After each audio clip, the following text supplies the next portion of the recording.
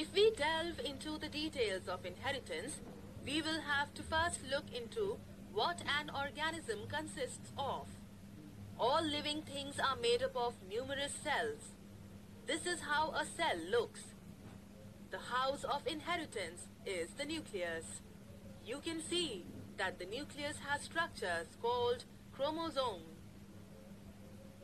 This is a single chromosome, enlarged for better viewing. What is it made up of? If you start uncoiling a chromosome, it will show you finer chromatin fibers.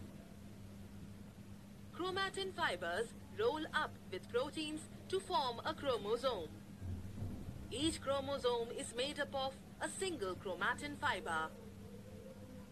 Each chromatin fiber is nothing but a coiled stretch of the macromolecule called DNA. So, a chromosome is ultimately made up of DNA. Each DNA has many base sequences on it.